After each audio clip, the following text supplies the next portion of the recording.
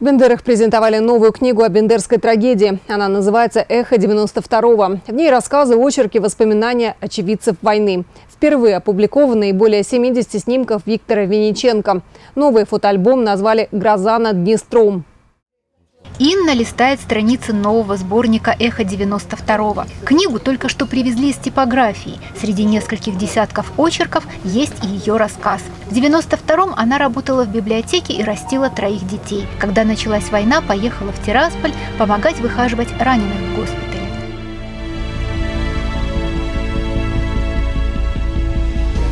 Не хватало рук тогда, не хватало. Это всего неделя войны прошла, а очень много ребят было уже раненых. И я для себя, я даже не знаю, так, так решила, что я нужна там. И я осталась, и я вот месяц была в Лечгородке. Это мои ребята были, за которых я выхаживала, которым я помогала, кормила, в перевязках участвовала. Потому что все-все это было в палате прямо. Материалы для этого двухтомника сотрудники городской библиотеки собирали больше года. Накануне 30-летия Бендерской трагедии прошла презентация книги. В сборнике проза, публицистика, поэзия и воспоминания. Николай Костишин в 90-е работал на приборе.